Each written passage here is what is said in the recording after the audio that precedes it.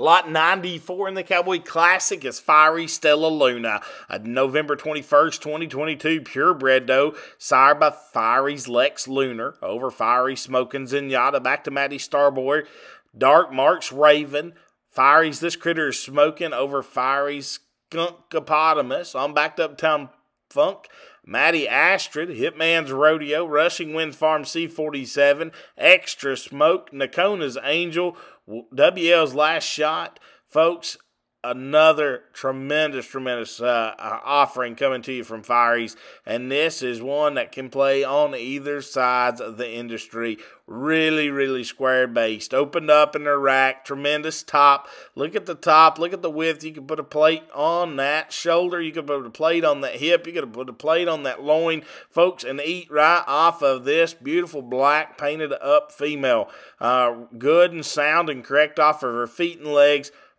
tremendous amount of meat and muscle. Uh, add that with eye appeal and style, one that's good headed, one that's just stout made and stout featured, yet still refined and balanced, uh, one that you can do lots of things with. Don't forget this one, folks. Check out Fiery Stella Luna.